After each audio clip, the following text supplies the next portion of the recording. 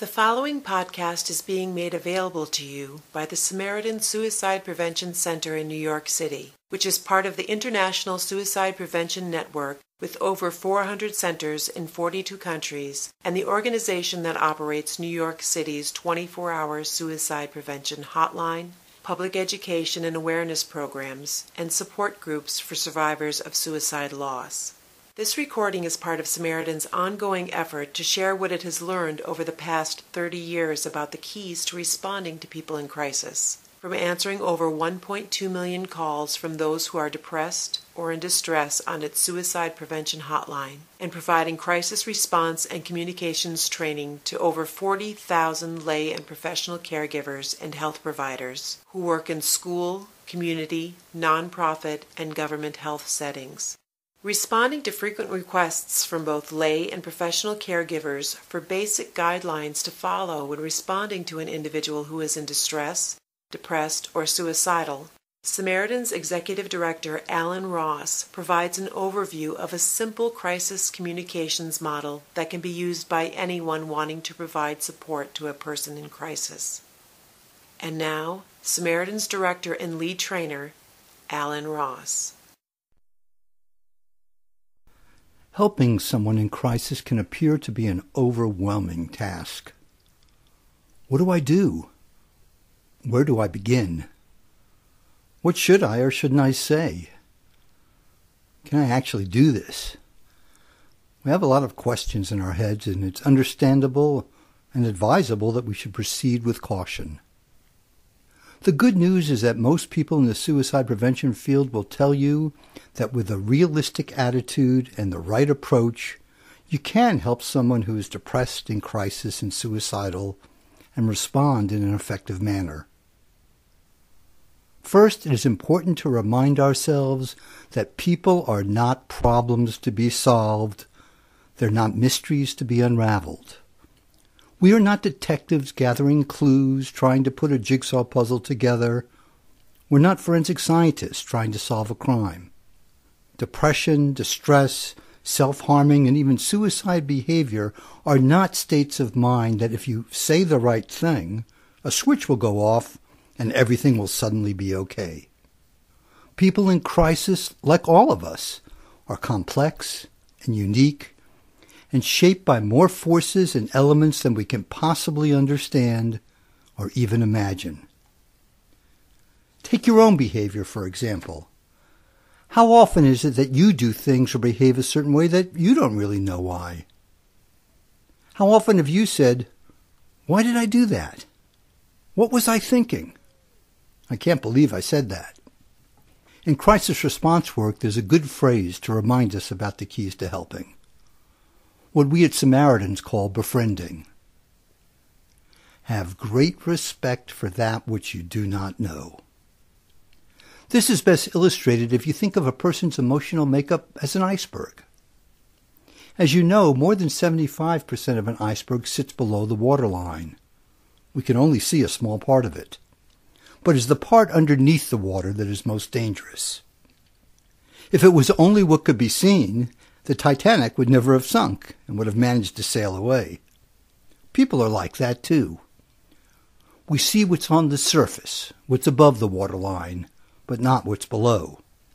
The forces that have shaped their history, their past experiences, childhood, possible trauma or abuse, unresolved issues, low self-esteem, conflict with family, friends, genetic predispositions, all the things that have impacted them, that made them who they are, and make them see things the way they do. Problems and issues an experienced psychotherapist could take a lifetime to figure out. So this iceberg theory tells us that crisis response work, whether for friends, family, coworkers, or professionally, is ongoing process work. It takes time. It has to be done slowly with care for the person and what they are thinking and feeling, whether we understand it or not. People see things the way they see them, and if we're going to help them, the first step is to connect with them from their perspective and realize that the circumstances that led them to this emotional crisis took time to develop And it's going to take time and patience and ongoing support to help someone get through it. We start every Samaritan's hotline training with this phrase. You don't solve other people's problems for them. It's hard enough to handle your own. You don't save another person's life. You help him or her get through a moment.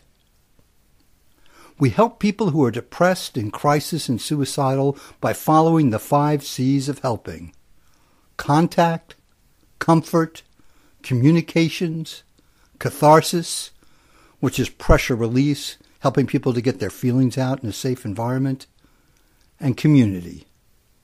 We prevent suicide by making a connection. We provide ongoing support in a caring, empathetic manner. We use our active listening to establish rapport and further that connection. We assist that person in expressing their thoughts and feelings without responding with our own judgments or values. And we utilize the many resources, mental health professionals, programs, and services in our community. This is something everybody can do. It just takes time and patience and the willingness to suspend our judgments and put the focus on someone else and have great respect for that which we do not know. Whether you are a caring friend or a loved one or a teacher, mental or public health professional, it's always comforting to have a framework or some kind of protocol that you can follow when responding to a person who is depressed or in crisis. A basic crisis communication model will give you a structure that you can use in all kinds of emotional support and crisis response situations. The six stages of this model are organized in a way to keep the focus on the person you are trying to help. The six stages are making first contact, establishing rapport, exploring the present situation, looking and listening for warning signs and risk factors, assessing suicide risk, and exploring options. It is a 7 to 10 minute model with the emphasis being on active listening, developing rapport, and focusing on what the person is thinking and feeling. The first contact, no matter how well we know the person, sets the tone for the entire conversation. As we say at Samaritans, it takes 10 seconds to create a first impression and 10 years to change it. Establishing rapport is the foundation for all emotional support and crisis response work. Developing trust and a sincere connection with a person is the key. Without it, we will be on the outside looking in. Instead of with that person, holding their hand, helping them get through the moment. Rapport building is always open-ended.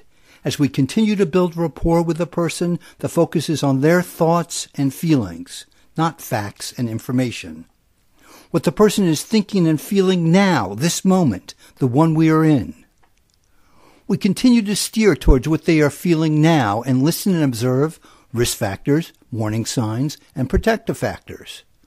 The circumstances and behaviors that give us insight into their current state of mind and provide us with an emotional profile of what they're dealing with. Somewhere between seven and ten minutes into this conversation, we do what is called a suicide risk assessment. A series of questions, these are close ended, that will give us insight into how much the person has visualized and planned a possible suicide attempt or some other self-destructive action. If we have heard any warning signs or risk factors and talk of suicide or self-destructive behavior, we do a suicide risk assessment. If in doubt, we check it out. It never hurts to ask someone about suicide. In fact, it's always a good idea because people who are suicidal will usually tell us what they are thinking. Finally, and only after we have gone through all the previous stages, we can explore options and possible resources. Remember, the focus is on the person we are talking to, not on ourselves.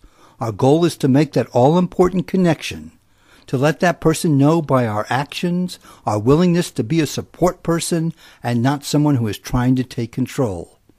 That they are not alone, there is someone who cares, that we take them seriously, and we are just one element of a larger caring community available to them to help them through their difficult time.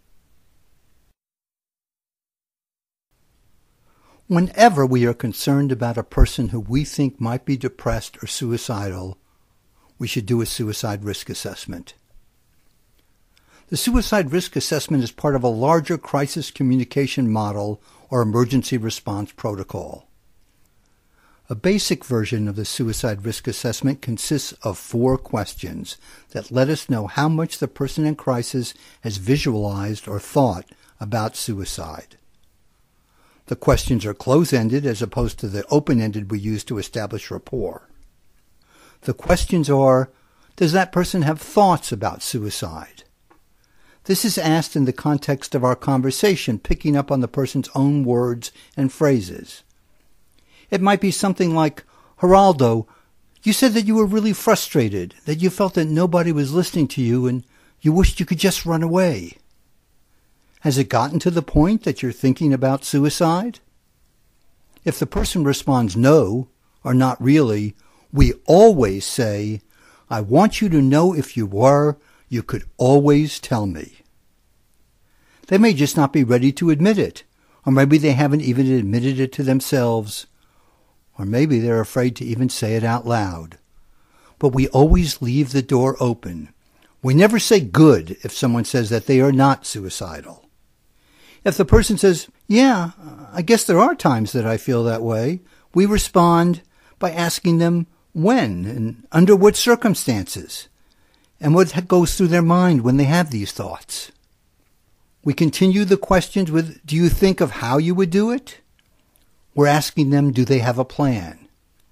If they say, I guess I would shoot myself, or I have pills, or I live in a building with a high floor and I'd probably jump.